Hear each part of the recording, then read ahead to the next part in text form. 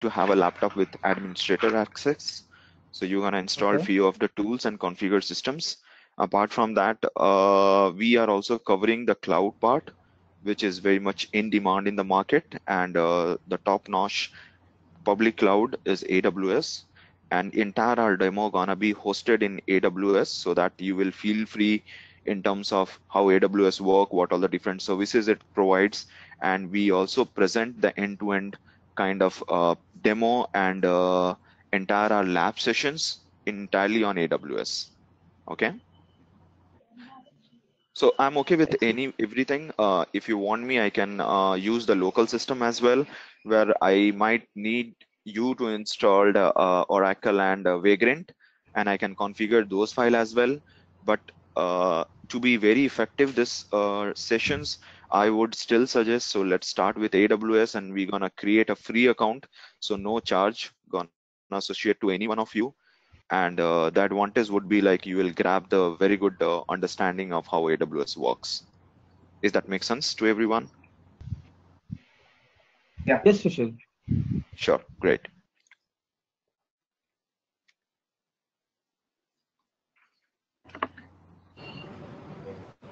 Okay, one second.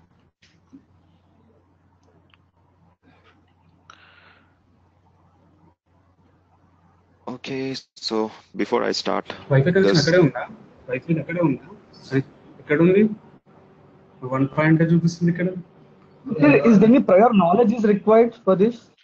No, so that's the Suresh has already uh, told me that uh, candidates will be joining with uh, almost uh, without no understanding of DevOps. So this course has been designed in such a way uh, for basic and intermediate. So you doesn't require any pre-knowledge. But yes, if you are coming up with something called waterfall model, agile model understanding, this obviously gonna help you understanding how this works. Great. Okay. Okay. Okay. So let me know if I'm uh if, see, see I'm uh before that I'll probably mention you how the course been designed. So the course is not only designed in terms of uh theoretical and giving you what the DevOps in the market. I comes from entirely uh developer background and this course is mostly designed in such a way that apart from the knowledge which you grasp what DevOps is, what all the tools, what all the multiple pillars it supports, which we're gonna discuss. It also been designed in mostly almost 90 to 95 percent of hands-on. So Great. by end of that, uh, you will mostly gonna grab how DevOps world works, what all the tools are there, not even the tools, how gonna you orchestrate all the different tools starting from code commit till code deployment, going with a monitoring aspect. I'm gonna discuss everything in detail. No worries. It's just a brief I'm giving you. Okay. So let me first discuss about the outline and then I'll go to the PPT which I prepared. Okay. Sure. So, uh, yes. So first we will talk about kind of what is the DevOps overview, and there we're gonna discuss about what is DevOps, why DevOps, and how DevOps will be implemented. Then we're gonna talk about all, and directly we're gonna jump into all the multiple pillars of DevOps. Okay, because you might have heard about agile model, you might have heard about waterfall model. I'm gonna discuss again back in detail down the line but DevOps is all about implementations. Okay, so how do you implement all these tools in the real world? So uh, this will cover setting of all this tool, configuring this tool, and your day-to-day uses of this tool, right? And I'm gonna cover all the top-notch tool. Uh, I'm gonna show you the periodic table that every pillar. Suppose I'm talking about source control. This is one the starting you might have heard about, right? Where all code goes and sits, and there are TFS, there are Bitbuckets, there are GitHub, right? So I'm gonna cover few of them which are into the top level and the rank one and rank two. Then we will move into continuous integration tools like Jenkins, Bamboo, Travis. I mostly covered Jenkins. So these are just expect, don't worry about this. We're gonna discuss everything in detail. Then the third pillar comes how do you analyze your code? So there are different code analysis tools where I'm gonna deep dive into SonarQube, which is uh, again open source and very effective in the market. And most of the companies like Tech Mahindra, most e-commerce like Amazon, Netflix, so most of them they use it. Then artifact storage, I think you might have already heard about. Most of the project is using Nexus and Artifactory. There are mostly two in the market, and I'm gonna cover both two in that. Okay. Then uh, next is a configuration management uh, and the deployment tool. Here I mostly cover Ansible. I have came across uh, most of the tool and I have used extensively in last six, seven years, Chef and Ansible both. So uh, I'll give you a glimpse about uh, Chef and Ansible and uh, probably will pick up one tool. Uh, I'll suggest you, I'll give you the most pros and cons about both the tools and you guys can decide which one to deep dive into that. From Suresh and his understanding, he suggests Ansible. Even I would suggest Ansible, but I can anytime switch to any tools that upon your flexibility, right? Uh, then we gonna create an entire pipeline end to end, right? This is all the tools we discussed about, right? Uh, source control tool, code analysis tool, code management tool, deployment tool, integration tool, cloud tool, and then monitoring tools. We're gonna create an entire CI/CD terminology with a demo. First, I'll give you a demo. We're gonna create the entire pipelines, which will con concrete of all the different six, seven, or eight jobs. I'm gonna show you that. Then usually we're gonna be using the AWS, right? So AWS, what is AWS? How do we structure as a code? Okay, so I'm gonna give you some demo in that as well. Okay, uh, for that we will again use Ansible. So this is all lab I'm talking about. How do you uh, provision the entire infrastructure in cloud using code? Uh, so we're gonna use either one of them. So I would again suggest Ansible. Then how do we do continuous delivery using again one of the configuration tool called Ansible. And then few of the, then lastly, we'll discuss about few of the monitoring tools. Again, monitoring comes with a multiple aspect. So there is log monitoring, there is security monitoring, there is a application monitoring, and there is a uh, infrastructure monitoring sections. So I will cover one to two tools in all the different pillars so that you will get an idea about why this tool's been used and why DevOps or cloud engineer or any engineer down the line have this to be integrated in our day-to-day -day activity? Because as a DevOps engineer or as a, any cloud or a delivery engineer, your responsibility not only to manage the infrastructure and create the end-to-end -end automation, you will also land up having your responsibility that how you create flexible and scalable infrastructure which having less security prone and should be up all the time, right? But how do you do that? So with the help of all this monitoring tool, you make sure uh, your environment is all up to mark and we will also try to uh, manually give some error, try to shut down some instances and see how it automatically brings up and makes your infrastructure all the time available, right? So this is quite a glimpse about uh, the entire uh, sessions we're gonna cover in probably 40, 40 hours, right? Uh, so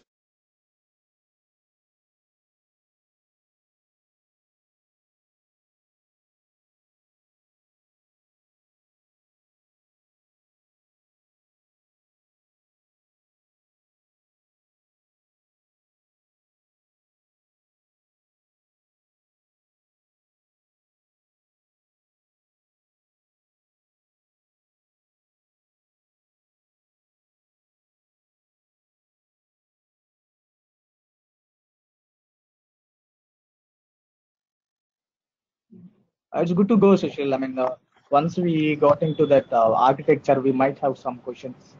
So I think uh, for glance, it's okay. Great. Uh, please, uh, guys, let me know your name once you talk. So probably uh, one two days, I'll try to uh, get your name and us, uh, your uh, the way you speak. So I'll quickly try to grab you because I don't Yeah, know who Krishna is here. speaking. Krishna. Okay, great. Yeah. So that would be great. So let me quickly start, guys. Uh, so uh, I'm happy that you guys gave your introduction uh, about Krishna and Lavanya for now. And a little about myself. So I'm coming up with more than seven plus year of experience. And these are mon mostly into infrastructure. I've started my career into infrastructure uh, automation engineer, and uh, it's been more than six years, seven years. I'm entirely working on DevOps when the DevOps came in picture. Uh, so I have been attended almost 60 to 70 plus DevOps uh, tools sessions across world. Uh, I have got experience of three years working in U UK, uh, and uh, I just came two years back, two two weeks back, and I was in US. So I cover most of the DevOps and the cloud trainings and sessions now nowadays these are few of the tools uh, where I've got expertise in and uh, mostly certified in most of the tools which you see here. So uh, in terms of specialized into DevOps, which you gonna take, uh, which will gonna cover most of this tool in brief, uh, but specifically uh, I'll get a training in terms of HashiCorp if you might not have heard. So this is all about creating your infrastructure as a code and how do you maintain multiple clouds at one code configurations. So you heard about, you might have heard about Google Cloud, you might have heard about uh, Azure, and now you already gonna work with AWS. But how do you manage entire infrastructure in a multiple cloud? So there the Terraform's tool and the HashiCorp, which you see here called HashiCorp comes in place. Ansible we gonna cover, Jenkins we gonna cover, Chef I'll give you what, so basically Ansible and Chef is almost uh, uh, alternate to each other the both are configuration management tools and uh, probably I'll talk about what the uh, language they are being written in, what all the modules both provides. So down the line, you will not feel anything that what Chef does and what is Ansible does and why they are different in the market. I'm going to talk each and everything about why Chef and why Ansible and what all the pros and cons about both these tools, right?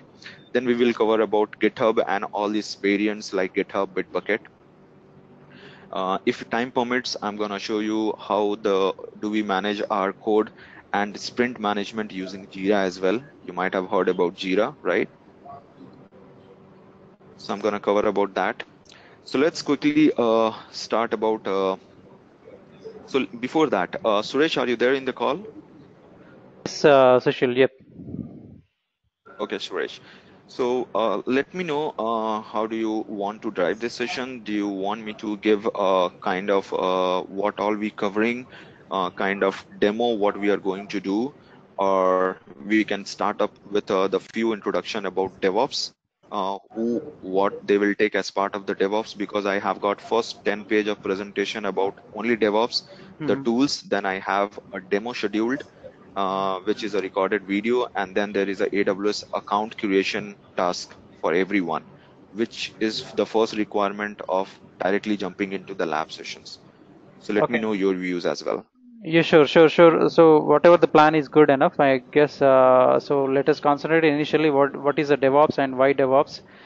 Uh, that is very important. After that, uh, you can go to the uh, specific topic and then the practical one practical on sure. any tool. Okay. Yep. Great. Uh, Sushil, it would be uh, Sushil Krishna here. So it would be good if you can cover the architecture so that we'll have a vague idea on what are the tools and what is what. That I'll be covering in the uh, yes. first. Yes, that will be covered page. as part of uh, DevOps overview, I guess. Am I right, Sushil? Yes. Yes. Okay. okay. So I'm gonna show you the architecture. I'm gonna show you a recorded video session which I have recorded just in the morning today so that the entire lab we're gonna design and bring back that demo which I'm gonna show you in the real world how do you implement right? So you will aware about what we exactly gonna cover in that lab, lab session. So it will give you a quick glimpse about the entire lab and the 40 hours of session which we're gonna do. Okay? So let's quickly start with uh, probably the DevOps overview. Okay, so why do DevOps? Probably uh, this is a, a, glimpse and the only the point being uh, mentioned here. Throughout the other uh, down the line, I'm gonna discuss in details. So first about why do DevOps? Obviously, most of you are aware about uh, it improves the deployment frequency, right? Which can lead the faster time to the market, right? So when I'm talking about why DevOps, then you will get to know what is this point? How come our deployment frequency and the integration of core modules is faster? And how do we automate that task? I'm just uh, going through the points and we will deep dive each of the points which is mentioned here. Okay. So obviously once we have the faster deployment ratio and the time, we're gonna uh, do the lesser failure rate and we're gonna shorten the entire life cycle of the software development and a deployment process. So that's the main agenda of DevOps in process, right? And not only that, uh, with DevOps being implemented, it gives us the feature of rollback and going back to the previous version in case any failure has happened in the production environment. So that is also a features which is being integrated into DevOps world, and we will see how to implement that as well. Okay. So what this course is all about, as we have already gone through the content in detail, it's all about how do it's define the ability to integrate the communication, integration, and automation in terms of how the DevOps tools and technologies creates the flow in the existing technology worlds, right? And it could be meant for any developers, IT operationals, professionals, BIs, so that they will know whenever a project requirement comes in place, how to understand that project, how much time it's gonna take to deliver into the lower environment and how to take that code being deployed into lower environment to the higher environment till production. So navigation is also very important part in the DevOps. Then the third point is what are the course objectives, right? Sorry, let me, I think I might have some highlight tool here. Let me check.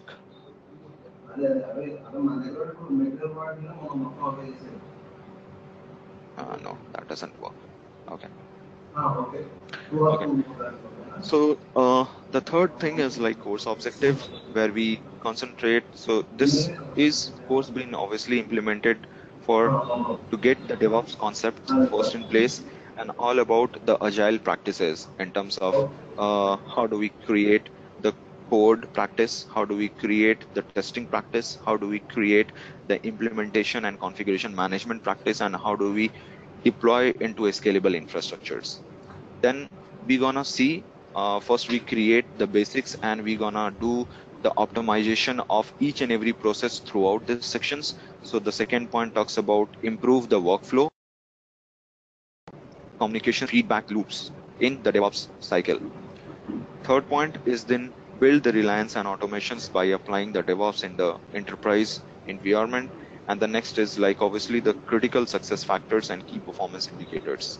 When I talked about all the monitoring tools, so this is the objective which you're gonna take when we cover the last section, which is the monitoring tool sections, which will gives you the success factor. Your environment is all time up or not. If something goes failure, how, what are the uh, ways you can recover it back? And how do you optimize either your infrastructure or application is performing up to mark or not? So that's will be as part of our uh, last sections, which will be monitoring sections. And then who should be attending this course. So obviously any individual and organizations who should be looking for foundation and a basic essential understanding of DevOps. Any employees and managers who are responsible for designing, re-engineering or improve the existing manual process or any consultants guiding their clients in terms of what are the process which can improve the initiatives in the DevOps world. Okay. Now, uh, as we uh, discuss about the agenda, so this is all about, I'll give you the quick glimpse about, this is what we gonna implement it or what are in, in couple of minutes, our demo is coming in place. So first we talked about what is DevOps. Then we will, these are all the phases in DevOps world, right? We will talk about how the compile and deploy the code. How do we install and configure Jenkins? What is GitHub, which is our source controlled? Then we'll talk about how Jenkins can integrate with GitHub and all other tools in market. Then we will talk about how do we automate the compile and packaging process using Jenkins. Then we will talk about continuous integrations and code analysis tools like SonarQube using Jenkins again. Then we will probably create an artifact of a code like suppose we use a java code and we wanted to deploy a web application into the production server. So first we need to create the artifact. So we will create a jar file okay whatever the code we push into github. Then we will deploy into remote random machines which is our dev machine suppose i have 10 i have 20 i have 30 machines in dev i have 40 machines in uat and i have 100 machines in dev. So how do you manage separate deployment and state management throughout this deployment process. So that also we, we will cover. And the last is like automate this deployment process across all these environments so that you will have zero touch automation process. So this is exactly a flow which we're gonna design it. Okay. So any questions here, guys? Okay, I'll take that as no and I'll proceed ahead. So let's start with what basically is the DevOps, right? So DevOps came with integration of two words called development and operations, right? So initially, uh, before the DevOps in place, we used to have separate teams, or most of the companies still have these uh, team structures called development team and IT operations team. So development team is the team who takes care of only the development, where IT team, IT operations team is a combination of testing team, uh, deployment team, and the monitoring team right so still in many organization you guys might have observed this team uh, different team expects and DevOps is one that which collaborates and minimize and almost uh, remove the gaps between development team and the IT operations team so that the delivery and the acknowledgement would be faster. Okay, so this is all about uh, DevOps as the word, how it's been arrived. Okay, let's talk about few about a one, uh, probably one minute to two minutes about the history of the term called DevOps, obviously. So uh, we were knowing that uh, there was multiple conference going on in 2008 till 2010, and these are mostly the conference about agile world, agile practices, and agile uh, methodologies. And in 2008, like Andrew Clay and uh, Debois discuss about the agile infrastructures where there was a most market demand about how do I create my scalable infrastructures and how do I automate the deployment in those infrastructures, right? So then that the term called DevOps was being popularized and it's been started in the market like 2009 in started with Belgium where they first integrated the GitHub in the market right? The first part of the DevOps was how I, I can manage the distributed version control system called GitHub. And initially we used to have centralized version control system called TFS, uh, ClearCase, you might have heard, SVN, right? So these are all centralized version control system. Don't worry, I'm going to discuss about what is centralized and what is distributed version control systems. And there how uh, from then 2009 onwards, there has been multiple DevOps conferences uh, in held in across the world. So I, I just mentioned that I have attended almost 50 plus uh, till now, uh, all DevOps tools and specifically the automation sessions across the world. So, but it has been started in 2009 itself then how do we use basically and currently what all the companies using this DevOps and why it is famous in the market so much, right? So let me first give you a few of the example why and what all the company are being having DevOps as their day-to-day activity and they give much more importance to DevOps and why. So Netflix, right? So Netflix is most common and most famous in the market because of two things. One, as of their scalable infrastructure, which they have hosted in AWS. And second thing is their automation of entire code and deployment and the faster deployment time right? So any idea, guys, I just wanted to get an idea. Do you know how many automation engineer in Netflix or DevOps engineer in Netflix? Because I have gone, I have attended some sessions in Netflix, so I have the brief, rough idea about how many engineers. So you, you all guys must aware about Netflix, right? For online streaming of videos and movies which we watch, right? Krishna and Lavanya? Yeah, yes, Sushil. Okay, so just guess uh, about how much our DevOps engineer they could have. Because Netflix is a worldwide, they host their all streaming data across worldwide, not only in one countries. So they might have uh, 30 or 40. Sorry, Krishna, your voice is not So they might have 30 to 40 members of the team. Great. Is this uh, Krishna or uh, Lavanya? Sorry, Krishna. Krishna, hi. Uh, Lavanya, you guess? Uh, no idea, Sushil. So they currently have 10 to 11 members, which manage the entire code uh, deployment till code production, deployment till monitoring expect and if anything goes failure they can recover that faster so only 10 devops engineer but they opted the devops practice in the starting real time and till now entire infrastructure code deployment code management scalable infrastructure being managed only by 10 devops engineer so that's their strength. So that's the power of devops i wanted to discuss with you. Uh, so how they make that possible right? Your question will come right? Because uh, anyone can do the automation right? But how do you know that what goes fail in the real world and the real time and how to recover from that? So they have implemented something called chaos monkey if you might have heard. So what sorry about it. When i click from the mouse to highlight it goes to the next page. Sorry about it. So chaos monkey is a service okay which goes to any of their lower environment you design where you want it. It goes to production. So for netflix they uh, are designed for production environment. So chaos monkey is a service. What it does suppose you have five sets of server and every set of servers suppose they have 10 servers for set 1 10 servers for set 2 and these are production hosting server right?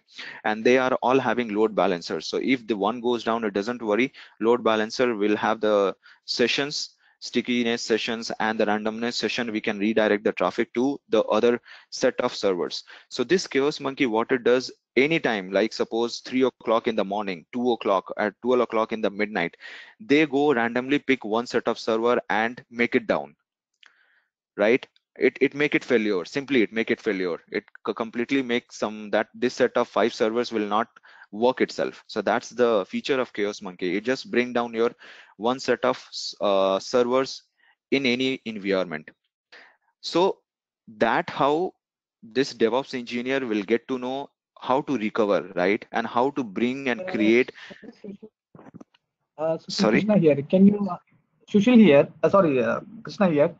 yeah Krishna. Uh, I just uh, can you repeat this? Uh, no, about the chaos monkey again. Uh, I lost it. Sure, no problem. So Chaos Monkey is a service. Okay. What it does, it gonna it randomly picks uh, one set of server and terminates it or make it fail over. Okay. So suppose you have five set of servers where a production environment is being hosted. So uh, suppose how do you test that your infrastructure is always available? So you can only test whenever there is a failover, right?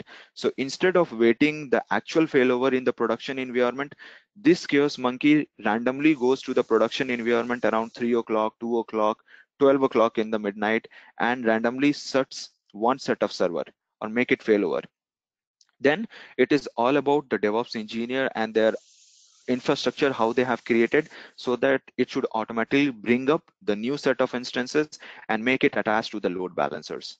Okay? Don't worry we're gonna when we create the entire infrastructure we'll talk about the uh, auto scaling groups the load balancers and uh, how you can create this immutable uh, infrastructure. Okay? So that is how they test it. Okay? Is that is uh, are you guys getting it Yes, Sushil. Yeah, yeah, Clear. yes, Sushil. So apart from Netflix, there are uh, these are top 10 companies which are so the, as of now, I think there are many companies you might have heard every company you go. So there is a DevOps, but in the rank, right?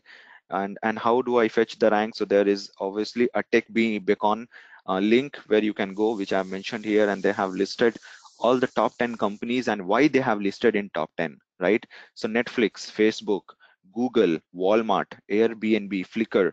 So these are and Uber especially, right?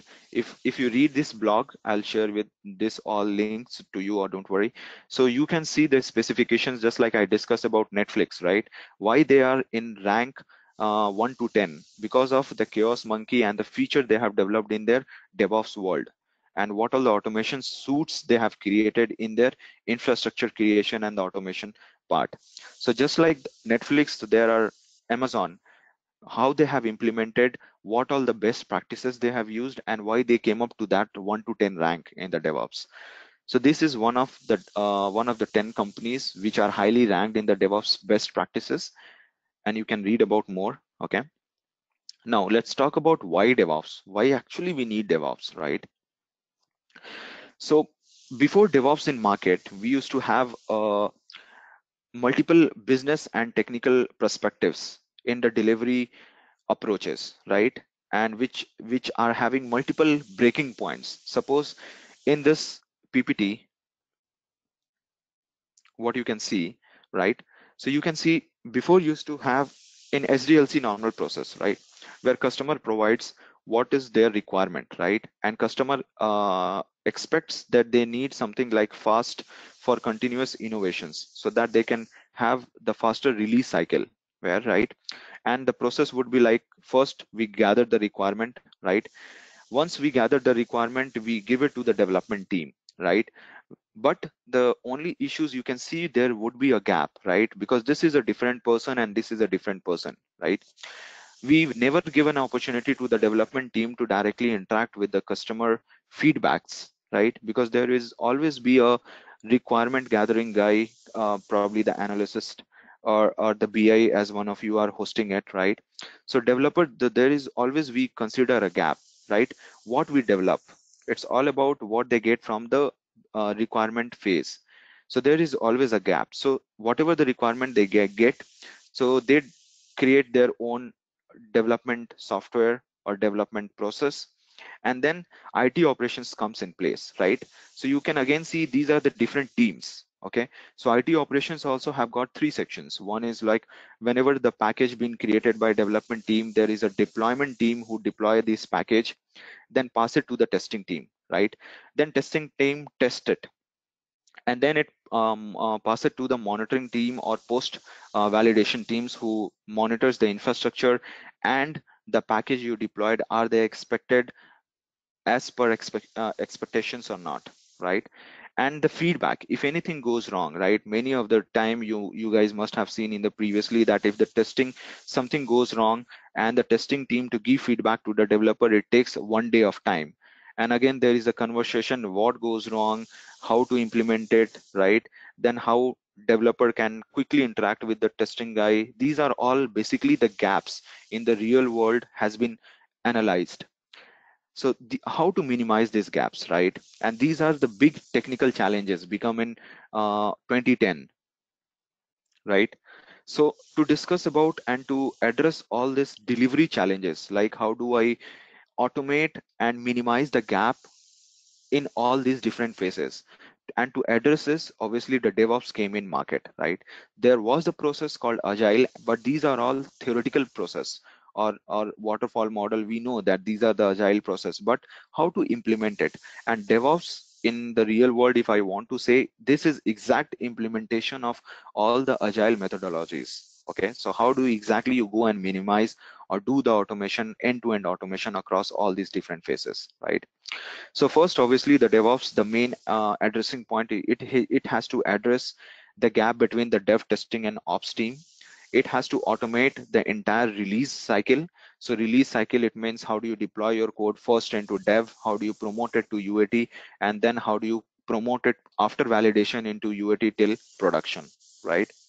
Then in that entire cycle you should must and definitely should have functional and non-functional test cases plus operational and business readiness. We're going to discuss more about that and this process obviously intensify the reusability and automation. So obviously if you create kind of the automation template and for one project for any number of projects you are onboarding and if suppose you are the devops guy so suppose you have delivered one end-to-end -end automation for one project. So for you to onboard any other project would be more flexible.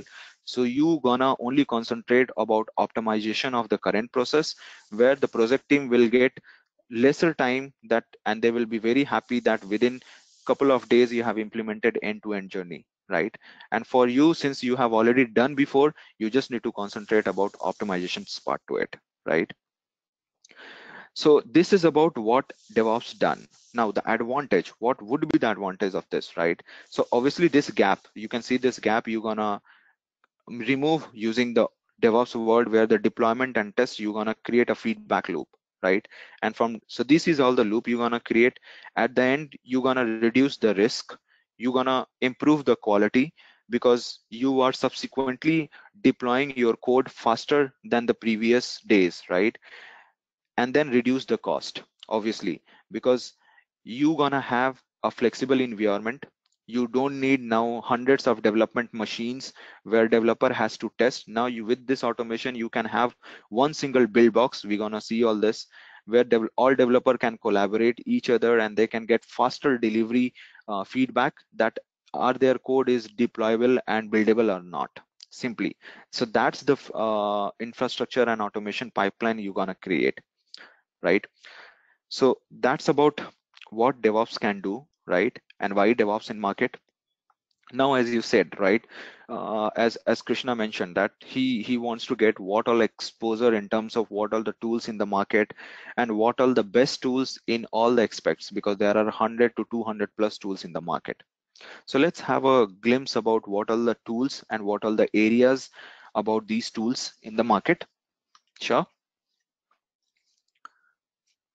Okay so before we jump into uh, directly into the set of tools, let's discuss about uh, what is waterfall. Then it came agile, and then it there is a uh, uh, word came called continuous integration and continuous delivery, right? So what was the waterfall model, right? So most of you are already aware about that. So waterfall model is nothing is about it talks about the feature complete deployment process. So what does that mean called feature complete deployment process, right?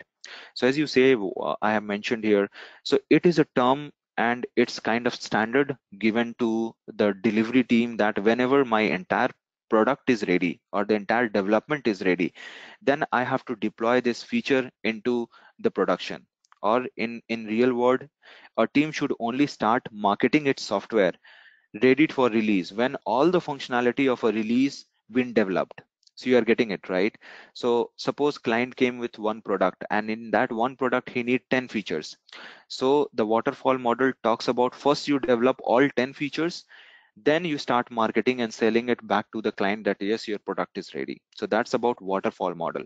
And it also talks about you should first test it then deploy it and then promote it to the higher environment. That is common across all the three. But agile model right? So agile model uh, depicts like why do I want and wait for all 10 features, right? Why can't I deliver one feature at one time and make my delivery cycle faster enough and error prone enough? Because what happens if you entirely develop 10 feature and give it to the client, client will come up that in one feature I've got these issues, in second feature I have got these issues, then there would be again a difficulties to prioritize which uh, issues or bugs to prioritize it right? So that's why agile model came in place. So where they introduce an idea to the team that they should get their software ready for every release throughout the development. So suppose they thought about 10 releases that after 10 releases i will deliver my product.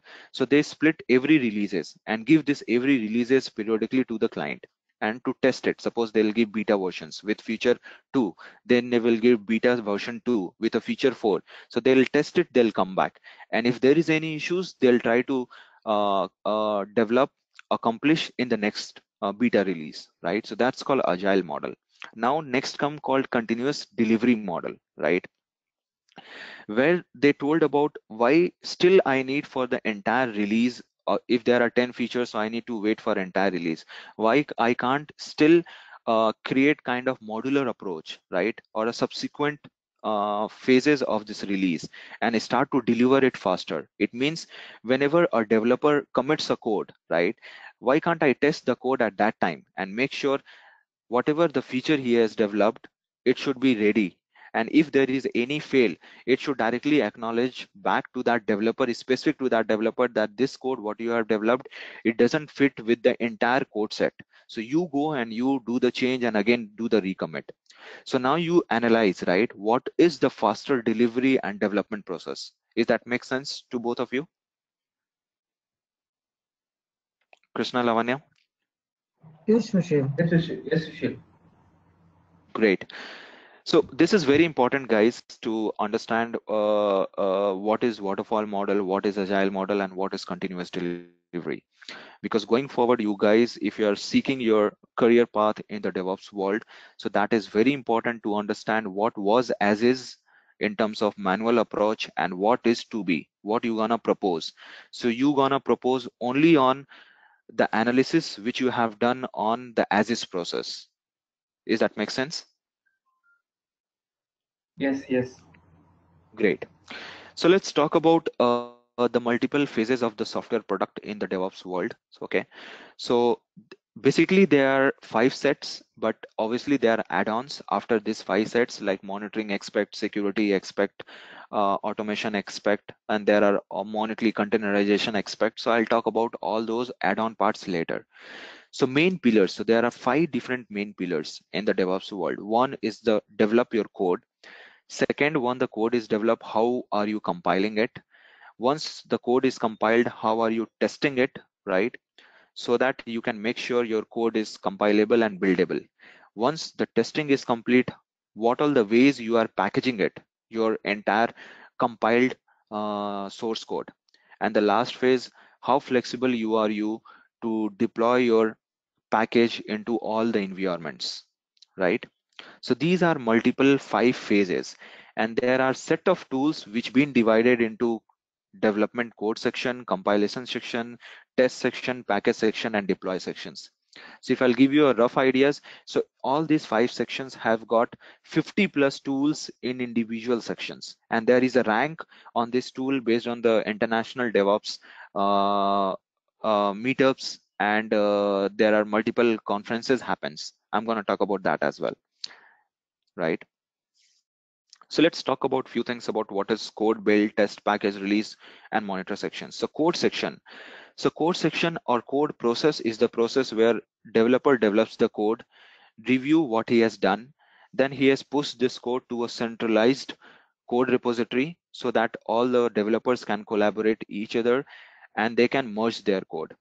Build section, which talks about once the code is ready, how they do build their code right and generate the status of their code. Test is like every functionality what they have wrote in that code. Are they written uh, corresponding test functions or not? And are they testing completely those te test functions or not right? So there would be going forward there is no manual testing team is required. You might have heard about selenium qtp right? Automation test. Why these automation tests? Because these automation test tools. Automatically test each functions of your entire software and analyze are these functions meeting the expectations of this function or not. We will you will more visualize when we develop a code create a test cases test it and generate a report. For now i'm just mentioning as a comment so that you will understand it okay? Then the next phase is a package. So once my code is obviously test and compiled i get a Uh, if it is a .NET, I'll get DLLs or I get EXEs. If it is a Java, I'll get class files. But I can't individually deploy this class files. I need to package it, right? So in Java, you have heard about jar file, war file, or EAR file. So I need to deploy into some web container like Apache Tomcat, right? So how how do I package it first? So there are multiple tools called build tools. If it is a Java, you might have heard about Ant, Maven, and Gradle. If it is a .NET, there is a MS Build and Wix packaging tool. If it is an Android and iOS, there is a specific iAndroid Builder and iOS Builder tool. So I'll cover few of them. Okay. The idea is, is very same. If you know the idea, right, all this code compile test package, then that is what the DevOps talks about. You just need to explore more about the project requirement. If one project is written in java so how do you generate all these phases and what are the tools you will use which will best suit their project requirements? So that's the mindset you need to have. And that's why i'm more focusing about uh, these things right because based on the seven year of experience what i had implemented more than 50 plus projects and delivered into production this is the main idea you should sit in your brain. That it doesn't matter you know because as of now you heard about these guys are java developer these guys are. Net developer these are the android developer. But you going forward why you gonna have the DevOps guys and a cloud engineer having most demand in the market because you gonna have the expertise in all set of tools. Not one, you're gonna have more than 20, 30, 50 set of tools. Always you need to have up to date in the market. What is new tools or what is new technologies coming in the market which can ease your task. And when you think about ease your task, so these are your seven set of tasks, right? Which is code, build, test, package, release, configure, and monitor. So next is uh, release. So once your package is ready so how do you release this package across all the different environments like dev uat and production? And there are multiple process involved right? Like dev only developer can deploy. In test uh, there would be automation test uh, approval process which is required. But for prod only it leads or only directors or only managers can deploy. So there would be one authentication process. And that you also gonna develop as a uh, automation process. So whenever your code is promoted to uat automatic alert should go to you define whom to go either it's a lead manager or director so that they have to approve before going into production. So that's the exact pipeline we're gonna create okay then the next phase about configure then how do you configure your infrastructure? We will talk more about when we discuss about aws and last part which is obviously the monitoring where are different section I, as i discussed application performance user experience security aspects and the infrastructure monitoring. So this is all about the devops life cycle okay? And this is what we're going to discuss throughout this session but in a hands-on way okay? Any questions guys or I'll move forward. Yeah, no, Sushil, you can go forward. Great. Uh, Sushil, one quick question. Yes, please. Krishna here. Uh, Yeah, so Krishna. normally, so what are the areas like? um see, uh, I heard that you know, build and release manager, DevOps admin, or uh, developer. So so many designations as such, right? I mean, Yes. what is the difference for all these things? Like, who will take care of the admin part? Who will take care of the development and all? Correct. So being, so it is all like company standards. Okay. Company, so every company you go, you have seen about they follow the levels of uh, hiring, right? There will be DevOps uh, level, then is a senior DevOps guy, then is a DevOps administrator. So it's all about they have created the rank. But for you, you had to concentrate about as a DevOps engineer. Based on your seniority, based on your the year of experience, every company will give you a different post as you asked the difference okay? So uh, if you few of the company when i heard and i had experience when i was uh, giving the sessions across multiple industry so many company came up nowadays called devops administrator role okay? Where you will only gonna concentrate about setting up and managing it to the enterprise level. Suppose jenkins one example. So on how the jenkins should have higher availability. So you will get two big servers. So from installation to configuration and configuring the pipelines and the plugins. So it is the job of uh, devops admin. Then just like that there will be whatever the devops tool like github how to install how to configure how to manage the user access across all the individuals so this is mostly the job of devops administrator but I would say this is not a very flexible job. Okay. Try to find out, and this is only few companies will have. If you say any standard company, they will clearly ask you that he or they needs DevOps engineer. And as a DevOps engineer, you have to take care of installation of software, configuration of your software, creation or using as a user. Okay. So you will create the entire automation pipeline where any developer can use it and any project can implement it and you're gonna optimize and create specific to all the project requirements is that make sense Yes, uh, Sushil. Thank you. oh great yes so uh, we talked about the phases of devops. Now let's think about and talk about what all the sets of tools comes in all those phases right? So i have created a groups for better understanding right? Once you because you go in the market and talk about i need to learn devops. So you will get hundreds of tool pitch into your uh, front of you that these are the tools. Now you start learning one of them. But that is not the right way of learning right? The right way of learning when i'm starting from phase one i'm uh, concentrating is like first you group it right? That's why i talked about all these phases right? All these phases called code build test compile test package and deploy. So these are all the groups and all groups has got set of tools. Again these set of tools got priority of tools which is currently being used in the market right? So that's how you should jump into the devops world and start the learning phase right? So this is the group i've created. So these are one is like source control management, continuous integration, configuration management, inspection, continuous delivery, and containerizations. So these are the multiple set of groups where there are 10 or 50 plus tools are there and they are divided into particular ranks. So I'm going to discuss about that, right?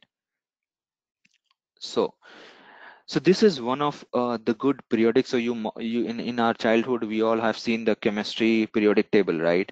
So we also have periodic table for DevOps tool, right? Good, sounds good, right? Let's see that. Let me quickly copy this.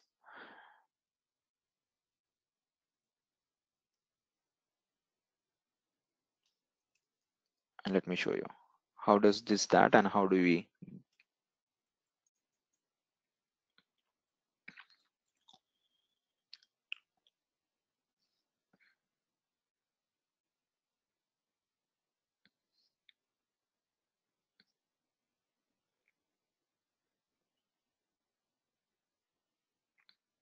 So let me know guys once it is visible to everyone. Is it visible? The screen is visible to everyone? Yes, sir. Great. So this is a very good uh, perspective in terms of the rank way and the multiple sections of it, right? So we discussed about source control, right? You have seen the source control, which is the first group I've talked about, right? Which is called source control management, right? So if you just mouse over here, right? So it will start highlighting on your left. You can see the yellow, it is being highlighted, right? So we are going to talk about all these five phases of DevOps. So one is the obviously the SCM, which I have already discussed called source control management, right? This is the tool or enterprise tool where uh, how DevOps push their code to a centralized code system. And this is called version control system. So uh, the mainly uh, as of now in most of the industry across world, the famous are the rank one is GitHub. The second is Git, which comes without UI. The third one is Bitbucket.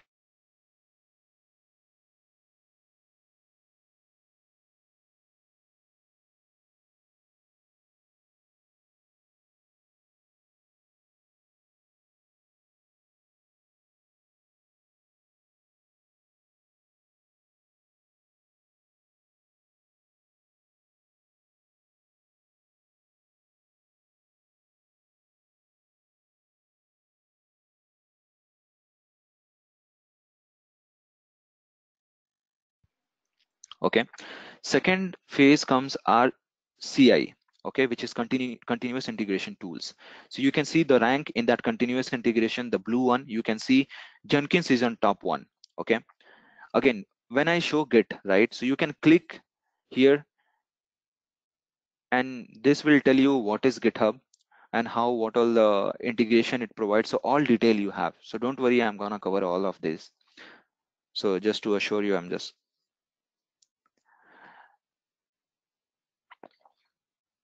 Okay, so we were talking about continuous integrations tool. So how I picked up the tool for this session, that's why I wanted to show you so that always the rank tool, you will start learning it first because you can see, right? If you only see this flow, there are 90 plus tools. And if you start sitting and learning, everyone suggests everything. But think about the rank and most of the what all the top 10 companies in the DevOps like Amazon, Netflix are they using, right? So based on that, we have to go with the sessions okay? So on the ci tool i have opted for jenkins right? But there are other alternatives. Few of the companies are using bamboo and uh, travis is now not being used in it was been uh, popular in four or five years back but now jenkins and its enterprise version called cloudbees jenkins are very famous and almost 80 percent of industries is using it right?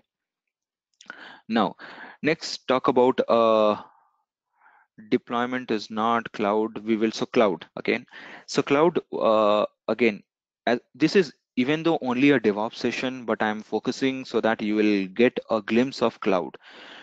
Because what is happening two years back uh, when when you ask or any opening or any reference for devops they would not ask for cloud. But if you are applying anywhere or if you wanted to have a career in a devops right? So cloud comes in default. Because platform. So nobody going forward they need on-prem platform because it's there are multiple challenges to it. But since we, you need a flexible environment scalable environment with a cost effective approach people are migrating to cloud at very fast pace right? And in that public cloud there are very uh, known uh, public clouds aws which is again you can see which is in top notch okay? Then there is azure then is a google cloud okay there are other clouds also called rackspace openstack so these are private clouds right? Then openshift right? So we will talk about and do the entire lab in the aws so along with this devops session you will get expertise on or the basic information on the how cloud works. So that will not be unknown for uh, when you talk about the devops world. So that's why that is the point i put that the entire lab. So before this uh, session or before i think six seven sessions before everything we used to do in oracle vm you might have aware about oracle hypervisor type right on the local machine windows machine hypervisor oracle vm and vagrant. So now forward uh, i would still suggest to go with aws but if you have got like uh, things to know on uh, oracle vm and vagrant then i can move back and do the entire lab on uh, vagrant or, or uh, oracle vm both. So let me know your suggestions and probably we can take that call Uh, Sushil, uh, then uh, this is Suresh. Suresh? Uh, uh, so uh, better if we go with the AWS because the industry is uh, demanding that and uh, they will uh, experience and they will learn parallelly and uh, mm, that would be advantage for them as well. They can experience it parallelly.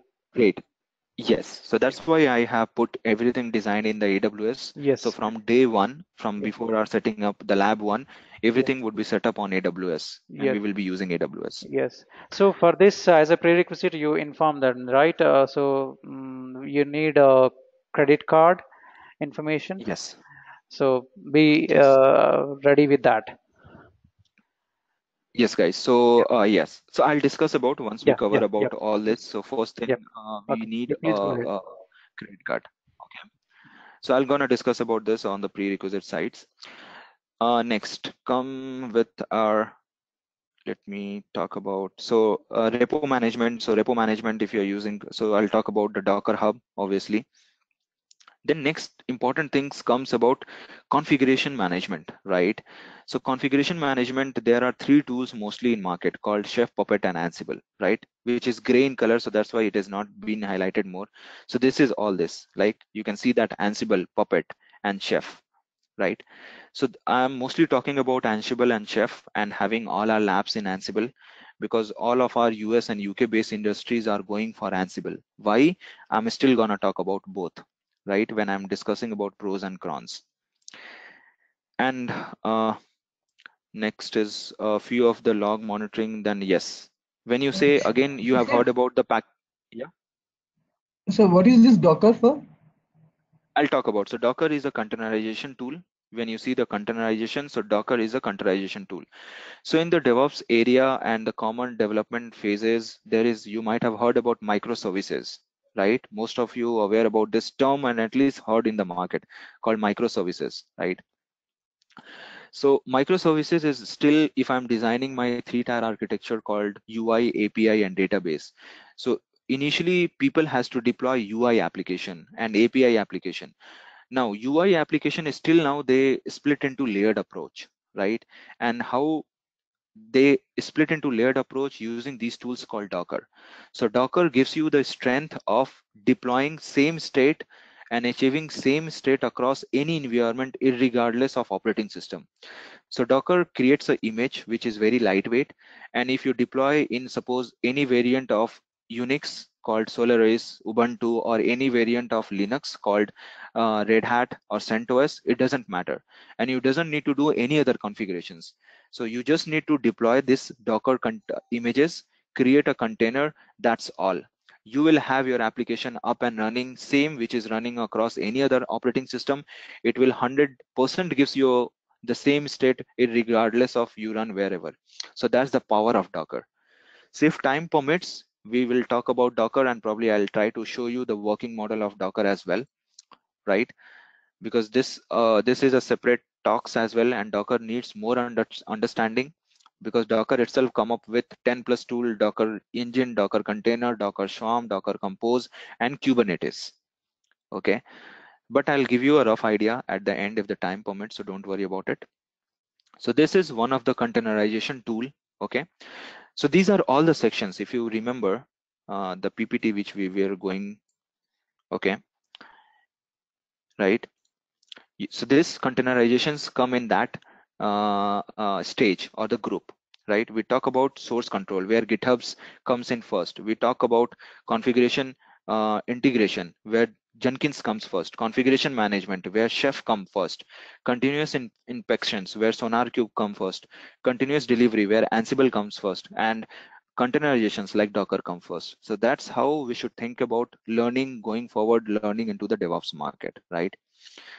Then there is a build tool. So I talked about if you're using Java, then Maven is a top notch. So I'll be using Maven, okay, Maven and Gradle, first two and first three in the market based on the ranking. And if you have some specific demands, like for .NET is IMS build, I already talked about, right? For .NET is Maven, uh, Gradle, and Ant. Then for Android OS, there is a different different build tools, but we will take one as a generic one. Okay, and then we will discuss about few of the log monitoring tools and other aspects to that. So, is that make sense, guys? How we have designed the lab sessions? Yeah. Sushil, if I have the knowledge of any one tool, can I explore the other tools as well? I mean, see, each company differ. I mean, use the different different tools, right? Yes. So, can I explore the other tool? So, if I have yes. the knowledge of one. Yes, definitely. So that's the idea you need to have. That's the idea I wanted to pitch in, right? So you should never think about this tool knowledge. Okay, what you have to have in your mind is this. Let me show you what.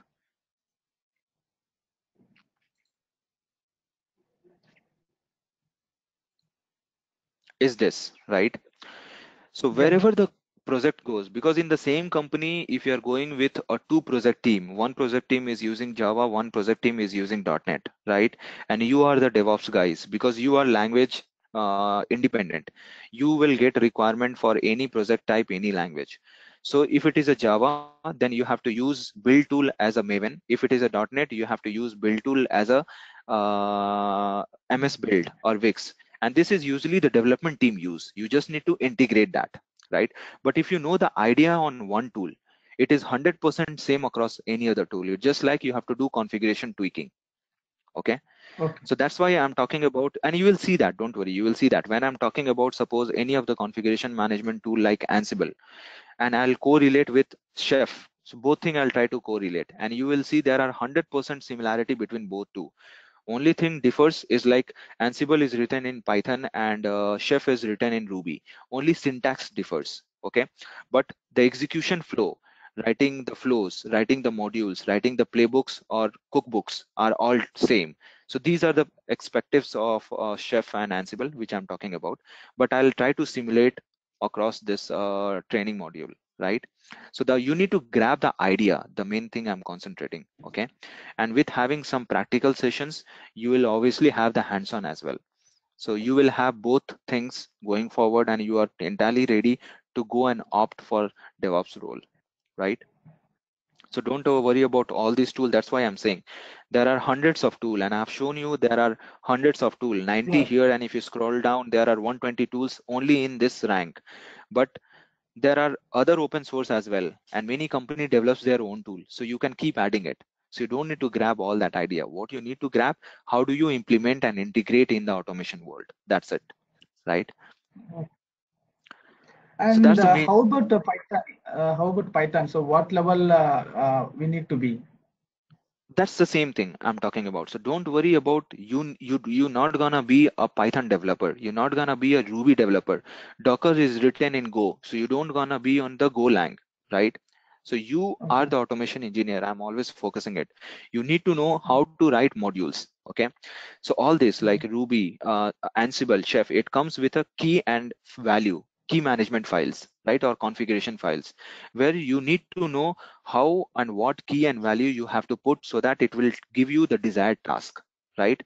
We talked about suppose an example i'll tell you. Uh, to host a simple web application right you so developer team will suppose give you a jar file. You need to host in a web server and in that web server first you need to make sure that you have any web container running suppose apache tomcat. Then second step you need to copy this war file third step you need to change the configuration file like which port you need to host your application. Then fourth is like restart the application. And fifth is like test it. So first you prioritize and uh, prioritize the step and sequ sequentialize the step. The next step how do you achieve this task? One way obviously you can do auto manual way right? You can do this this and you can achieve the task. Main thing is like automation so in that automation how do you write these steps using automation tools like chef or Ansible. So that is the more concentration. And these tools come up with all user-friendly key value pairs. So you define the step, that is step one, you need to install the web container. Step two, you need to deploy your code. Third step, you need to restart the service and you are done. And next time, developer gives you 100 package, you just one click, it will go deploy at one click. So that's the power of DevOps and automation in place, right? Okay. Okay, great. So uh, let me show you. Great. So before let me before going to the demo, let I wanted to show you the architecture which we are going to implement, right? Which will kind of give you a glimpse of uh, what we're gonna do.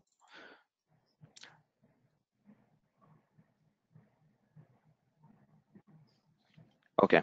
So is it visible? The screen is it fit to everyone? Yeah. everyone's screen okay great so let me first explain you what is this gen yeah anyone have any Can question you- can- Yeah, can you, I mean, a little bit zoom, I mean? i'll zoom it i think it if i'll zoom it it will not fit don't worry i'll keep scrolling out here and there i'm i'm just just opened it so uh, this is uh, uh, one ci flow and this is most standard and most generic ci flow which i have developed in last seven years okay? And every language till now i have used in java i have used across. Net ios android node.js right? Ruby. Same idea has been implemented across everywhere. Only differs is your tool. But jenkins is always remain same. Github bitbucket always remain same. And ci flow is always remain same. Okay so we have discussed so how to correlate. So that's why the correlation is very necessary right? So we discussed about this code right? Code develop the code compile the code test the code package the code and then deploy it right? That is what the architecture talks about okay? So starting from your left hand side okay? So this is a developer okay? So developer usually do the development and push it to their one of the github okay i'll talk about jira so jira is a sprint management tool so an IDE, IDE, you know, it's a local development software. So for Java, it is a IntelliJ or Eclipse. For .NET, you might have heard about Visual Studio, right? So this is their developer. And we also, till now, we also done this automation, but it is not required. I'm just giving you a glimpse of that, okay? So that you will know what is the strength of automation till now, till today, what we have achieved in the market, right? So what usually developer do so this is a developer he usually so there are don't think about one developer think about 100 developers sitting across 10 different countries. And they do development at same time right? So developer do and create and merge their code to the central repository system called github or bitbucket okay? So whenever the separate developer do their code development.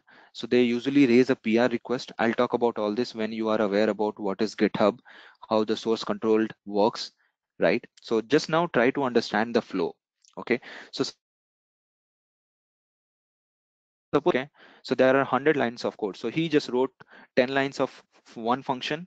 He tested it and then he pushed it to the main repository where your entire production code sits right but you doesn't want your production code to have a new code without being tested right? It's that the my uh, process should be. So before it merge what happens? Uh, developer raise a request that i need my code to merge into github where my production code is sitting. So before github merge its code it it triggers an alarm to jenkins automatically it's all about configuration which we are going to do using plugins called webhook plugin. So then jenkins take this call and tells back uh, github in the normal way that you wait. Let me test what this particular developer has developed. Let me test this code compile this code deploy this code. And if everything looks good to me then i'll acknowledge you back that yes this code is ready to get it deployed into your production code. And then github goes and merge this code right? And after this merge you promote to the higher environments. That the normal flow.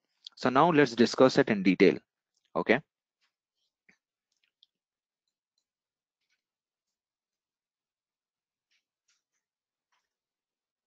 Okay. So the first step whenever developer raise a request that i want my pull request to get it merged github sends an acknowledgement back to the jenkins right? So jenkins these are the separate jobs we create okay. So krishna ji you are about jenkins right? Yeah. so you must be aware about yeah so you must be aware about the jobs we create the separate separate jobs and we integrate it right? Correct. right. So these are the kind of jobs we create. So first is usually this is the generic name right? You can change anything which you see in here but this is the best practice which i have implemented here for you so that you can understand and try to implement same wherever you go so first is usually a pre-checks right where you gonna get how Jenkins will pull the base code from the production code set and the modified code from the specific developer. So he will have the main code plus the modified code. And you know, this is the central build machine. So uh, if there are 100 developers, I'm not using 100 machines. So that's how the first point you are saving the cost and effort.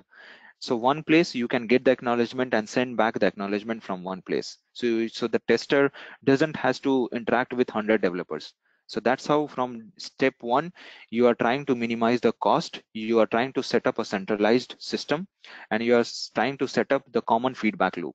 Okay, that we are going to see. So every code, so Jenkins will pull the base code plus the modified code into a central build box. Okay, it could be Linux, it could be Windows, doesn't matter. And you design on the Jenkins what steps or task it has to do. So first step, it has to clone the repository. So obviously it will take the base code and modified code.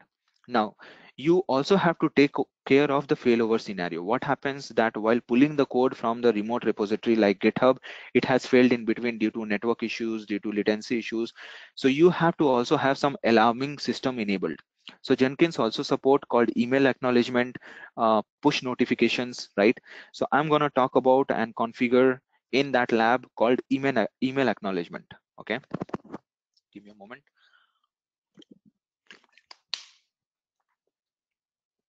Yeah. So if that step fails, okay, so one email will be triggered to that specific developer that while doing the step one, the clone is failed and you will mark this build failed, right? So no need to go to any other further step. If the step one or the step first or the job one is passed, it will go to the next job called compiled. What I have shown you in here called compile process, right? So there it will do certain task. So first it will create a specific directory where it will copy whatever the code it has got. Then it will run all this step, right? So first it will clean the directory, it will compile the code, then it will test the code using J, JUnit. So JUnit is again a testing framework which can test all your test functions written by uh, developer. So it's your responsibility to integrate that as a DevOps engineer, right? So you define all those like how to compile it, what to compile it, how to test it, what to test it. Then once the test is passed, you need to build the code. And after the code is built, you need to generate an artifact, right? You have seen that. Test it and package it, right? We are doing it here.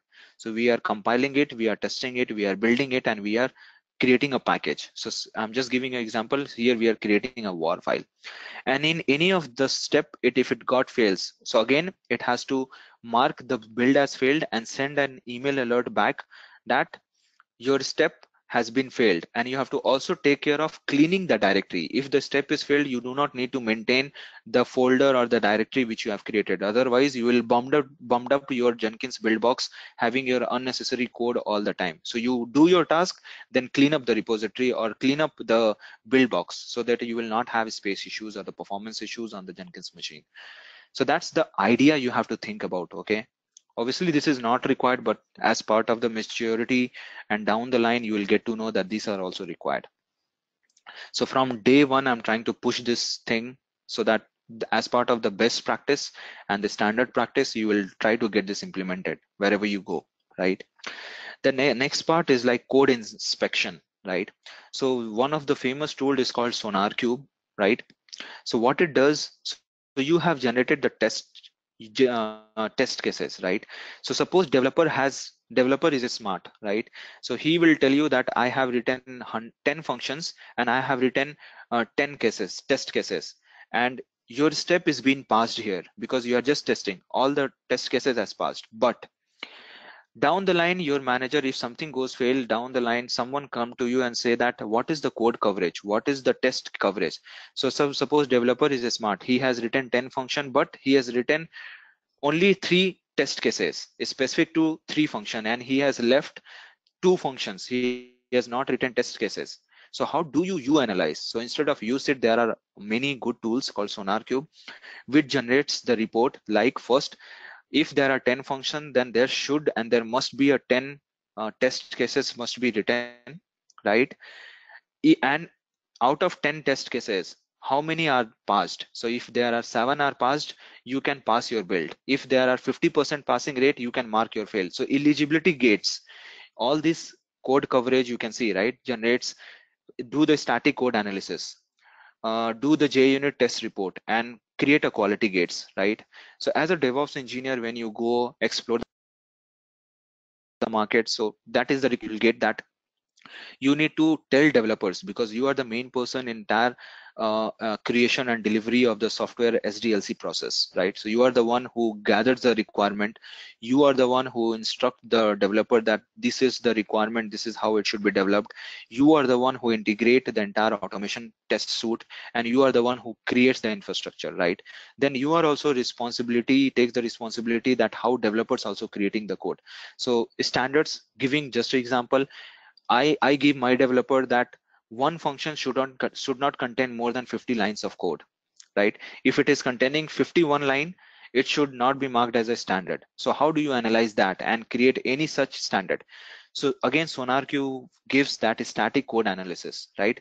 Another standard that every function should have comment associated to it right?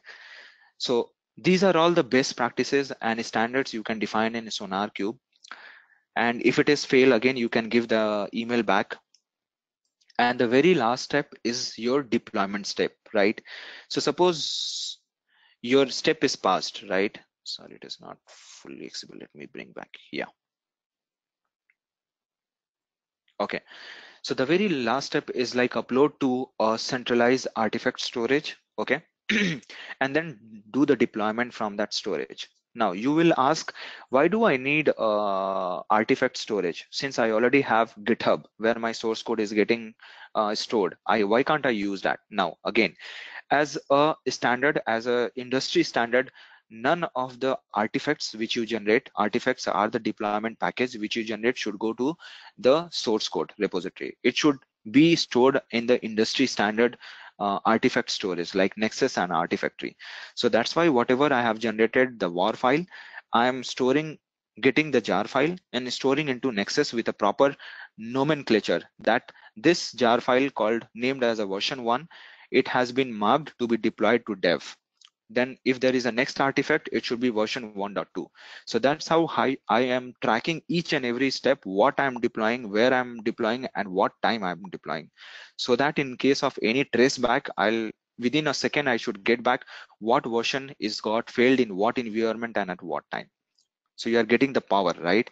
Every step is has got the automation and the logic behind it so once I uh, upload the code into Nexus, I'll, so that's my task is done, right?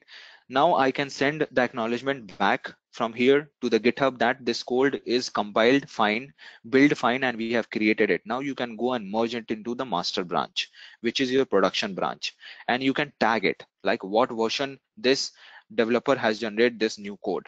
So you can mark this every iteration, iterative version of that code, right?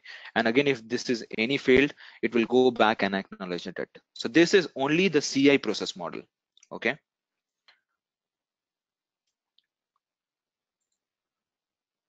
Okay, Sushil. let me open sorry it's not coming full screen since it is written in visio so yeah so this is how we do right so any questions guys any understanding or uh, is that makes sense i know for day one it is quite lengthy but I just wanted to give you a glimpse. This is how the course been designed. It is not only designed as a theoretical aspect, it is all been designed in terms of hands-on and things about thinking in a mind that you are going to be as a DevOps engineer or cloud engineer or automation engineer. And what are the tools and technologies you should think about learning from day one if you're thinking about DevOps as a career, right? So any questions guys about this uh, flow?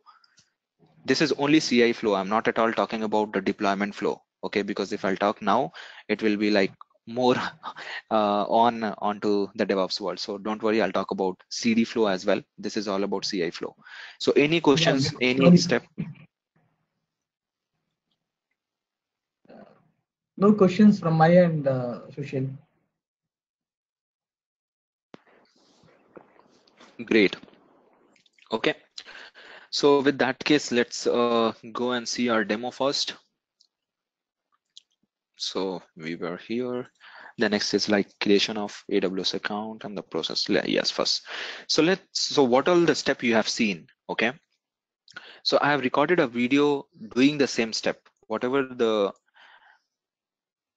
diagram you are saying or the flow you are seeing on the screen, the same end-to-end step I have created and recorded a video in the morning today. So let's see how does that work and entire our lab. This is just a 50%. Okay, I'm again telling this is not at all covering the Ansible and configuration management and the monitoring tools or the container or AWS. This is just a standard CI process, which is very important. So you heard about the term called CI CD in DevOps, right? So CI is meant continuous integration and CD is called continuous delivery. So continuous integrations comes first and then delivery and deployments comes next. So once you have your code ready, then only you can navigate and propagate your code from lower environment to a higher environment, having additional steps like functional and non-functional uh, test included. So that we're gonna talk about in the later step. Understanding on each and every step is required, but you have seen, right? I'll tell you the the entire idea. This was the real demo okay? Which which was a real development which has been done and deployed into nexus. You have seen the timestamp. It has took mostly two minutes right? For one code to get uh, developed and get it deployed it took two to three minutes right? Think about when the devops was not there and think about once the developer has to develop a code he has to drop a mail to a testing team. Testing team do the test. He has to do the drop a mail to the deployment team. He will get the requirement. He will take another day.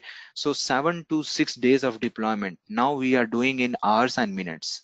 Amazon does the deployment of every code every second. If you read about their devops why they are in rank 2 for now because their every commits is getting deployed every second. Every second there is a new change in production and there is no intermediator in. So developers just push the code and with the devops engineer infrastructure automation tool set and the architecture he has done it gets deployed to real production environment within a second. And their frequency is every one second not minute. Every second there is a new set of code getting deployed into amazon. So that's fast they are into that as of now what i have shown it taking two to three minutes but yes when you get the expertise when you get the optimization you can still minimize this code so now running the seven days of deployment and release cycle you are doing in one day or two day so that's the power of devops i wanted to present is that make sense guys to everyone Excellent, Sushil. Yeah so Okay. don't worry about. I know it is. Sushil, this is quite Suresh. complex. So yes, Suresh. Uh, I'm a bit surprised, like Amazon, how it is implementing within uh, every second it is deploying to the directly to the uh, to the production, Production. and uh, without having any intermittent uh, mm, environments. That too is a, it's a Yes. very challenging, right? So, what is the key Yes. factor there in in a nutshell? I- Yes. So Amazon came up with a microservices approach, okay, which uh, having containerized approach, okay. So you heard about Docker, right? Yes. So Docker is, so you know, with one, every time they build a code, it generates an image, and that image you deploy one shot in three environments, and it makes sure it doesn't it doesn't require that now with a Docker you doesn't even need the dev environment UAT